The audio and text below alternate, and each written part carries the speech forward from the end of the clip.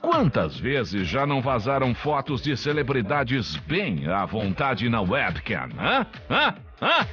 Ronaldinho Gaúcho, Cadu Moliterno, o medalhista olímpico Arthur Zanetti e uma pá de ex-BBBs. Agora foi a vez de Murilo Rosa, que supostamente teve suas fotos bem peladão vazadas na net.